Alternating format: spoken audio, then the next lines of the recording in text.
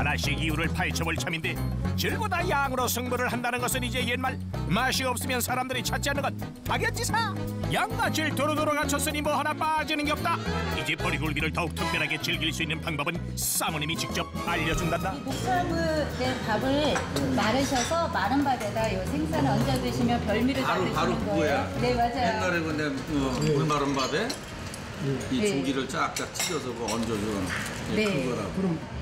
누군가에겐 옛 추억을 떠올리게 하고 또 누군가에겐 새롭고 신선한 맛을 선사한다는 요 녀석 그 매력에 빠져버린 사람들은 맹추위의 칼바람이 대수랴 자꾸만 이 집을 찾게 된다고 근데 저는 처음 먹어봤어요.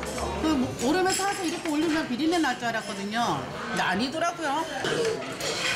근데 맛있어요. 쫀득쫀득하고. 딴 데서 많이 먹어봤는데 유지굴비는 좀 쫀득쫀득하고 냄새가 나서 좋아해. 그리고 식감이 꼬들꼬들해서 참 좋네.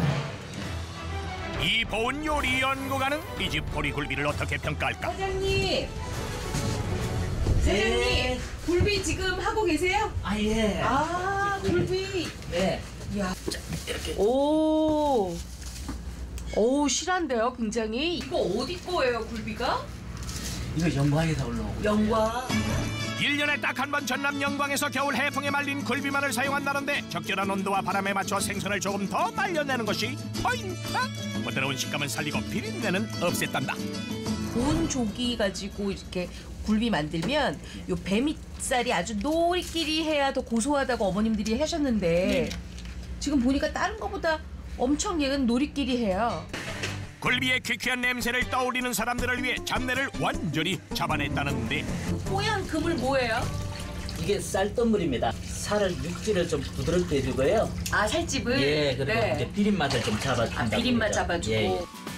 그렇게 하루 정도 쌀뜨물 속에서 깔끔하게 떼빼고 광낸 보리굴비는 찜통에서 뜨끈한 스팀 팍팍 받으며 온몸 구석구석에 따뜻한 기운을 장전하고 나서야 손님 상의로 직행할 준비 완료! 좀 멋져요. 내 인생에 대충이란 없다 시간은 칼같이 지켜야 하는 게 주인장의 철칙이란다 위에가 진얼음이하고 등이 색깔이 노랗게 이렇게 나와야 돼요. 황금빛이. 속살을 확인해 보는데 고급스러운 황금 밑깔 뽐내며 위풍당당하게 그 자태를 드러내는 보리굴비 손으로 정성스럽게 한 점 한 점 발라내야 제대로 된 진.